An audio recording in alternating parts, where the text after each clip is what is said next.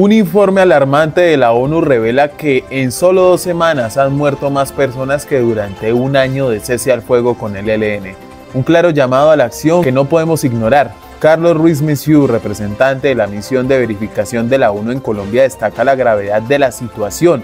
En un reciente comunicado mencionó que la violencia ha resurgido con tal intensidad que se ha revertido el progreso logrado en años de negociación. Según los datos, en estas dos semanas se han reportado 37 muertes vinculadas a los enfrentamientos, un número devastador comparado con los 32 muertos registrados durante todo el año de cese al fuego. Esto pone en evidencia el incremento de la violencia en el país. La situación no solo afecta a los actores armados, sino que impacta directamente a las comunidades. La ONU también informó que más de mil personas han sido desplazadas en este breve periodo, sumándose a las 5.000 las que ya se habían visto forzadas a huir por la violencia en los últimos meses. Ruiz Messieu hace un llamado urgente para retomar los diálogos de paz, enfatizando que la solución no es la militarización, sino la reconciliación y el entendimiento.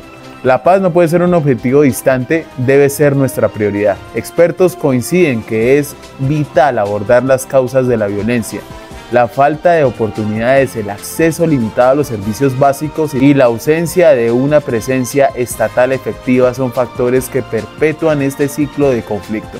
Es fundamental recordar que la hostigación y la crueldad excesiva no son la forma de hablar de paz. Más de 1.500 civiles han sido víctimas de estos atentados en el último año y en nuestra responsabilidad de buscar un camino hacia la paz una opción no es entregar el país con sangre y humo de metralla, sino con hechos que garanticen las vidas de la población civil en los territorios. La solución está en nuestras manos, pero esto no implica entregar nuestra seguridad en una bandeja de plata.